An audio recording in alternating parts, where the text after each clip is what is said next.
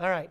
I'm not going to talk a lot about this little picture here, um, but it's really cool. Again, I found this diagram posted on where else? Facebook, the source of all knowledge, right? Um, where I spend a lot of my time uh, at the end of last month. And I'd seen this before. Um, now, although you don't see anything that mentions God, this came from a We Are Teachers Facebook page. I can't help but see that it's full of biblical principles throughout here. You see the four outer circles, you know, a job, finding your purpose in life, something you love to do, the world needs it, you're paid for it, you're great at it. Each of those things kind of intersect. You know, the intersection between what you love and what the world needs is your mission.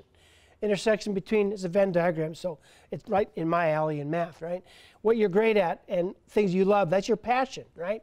Your profession, that means you're getting paid for it and you're good at it. Otherwise, you wouldn't be doing it, right?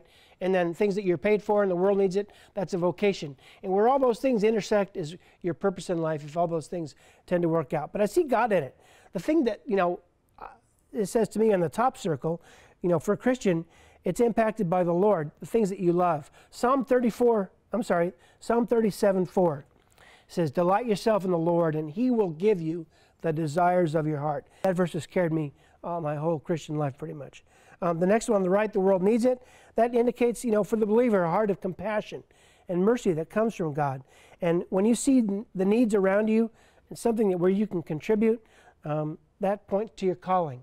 I mean, for my wife, it was a desire to work with children and to, to build her life into children, and that's what she's done for years and years and years. Um, the circle on the, on the bottom paid for it. Well, that sounds, you know, kind of commercial, but and worldly. But really, think about it, you know, um, it echoes the understanding that God meets our needs and He has led us to the right job at the right time, the right place for His glory. And then that last one on the left, the, the fourth circle, you're great at it, reminds me that God gives us talents and strengths, experiences, and successes so we can be a blessing to others.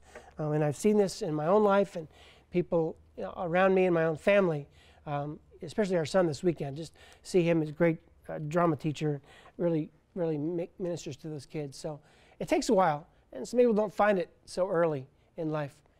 Um, I am not sure I have found it recently. I'm still trying to figure out what I'm supposed to do when I grow up, but I keep I keep looking and developing those passions. So as you're doing this, here's what you you want to think, and I didn't come up with these myself.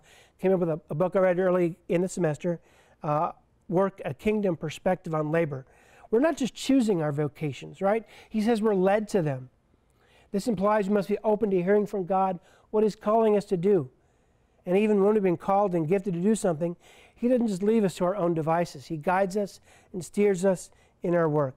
Um, and here's uh, an insight that I had that I didn't read anywhere from a commentary or a theology book. I just looked at Matthew 6:33, where it talks about seeking uh, first the kingdom and his righteousness, and all these things will be given to you. And in the context, Jesus is speaking about, you know, God feeds the birds and the, and uh, the birds and the flowers.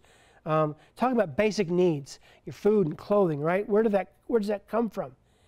You know, for for the animals, you know, they're born with the clothing, and and He provides food, you know, for them even during the winter. Somehow these bunnies and birds survive on stuff. Uh, but how does He normally meet our needs? Isn't it through our jobs? So maybe if we seek first his kingdom, he will lead us to jobs so that all those things will be added to us. So I see a connection between seeking God first and finding the right job. So as we're in looking in this, and some of you I know are in transition and going to be looking around for a new uh, chapter in your life. So this, this, this may come in handy.